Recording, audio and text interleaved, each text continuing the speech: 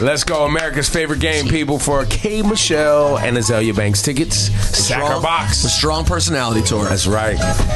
Rosenberg describes what's in his sack. Laura in her box. You pick one and you guess correctly, and you get the tickets. Rosenberg, what's in that sack, man? Oh, ladies, pay close attention when I'm talking to you right now to the words that are coming out of my mouth. Oh my god. It's long, it's tall, it's hard, it's filled with something you need to drink eight times a day in your mouth. All right, Laura Styles, what's in your box? Okay, um, I have to jam it in a small hole over and over and over Mm, Take to make sure that, it's all that. Mm, covered. When I pull it out, it's sticky, but it still goes right on my Yeah, lips. Talk that talk. I hate how it tastes, but it makes my lips so shiny. I mean, now it's too easy. Guess what's in my box? Guess what's in my box?